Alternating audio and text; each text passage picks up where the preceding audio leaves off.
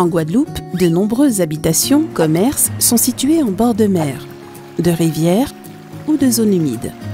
La population est donc particulièrement exposée au risque d'inondation par ruissellement et par submersion marine. La gestion des milieux aquatiques et la prévention des inondations, GEMAPI, est une nouvelle compétence confiée aux EPCI, dont la communauté d'agglomération La Riviera du Levant, depuis le 1er janvier 2020. La CARL a adhéré au programme d'action et de prévention des inondations, le PAPI, initié par les six communes concernées par les bassins versants des grands fonds.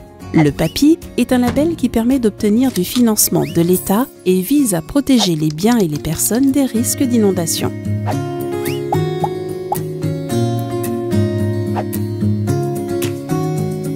Bye.